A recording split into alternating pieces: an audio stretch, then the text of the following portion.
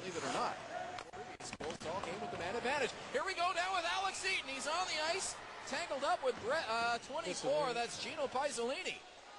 And as you predicted, the two of them with a little spar here as Pisellini has the right free. Alex Eaton gets the helmet off. And they're tangled up here as Pisellini hacks away at the back of Eaton's head. Neither one of them really able to get in any solid punches there as the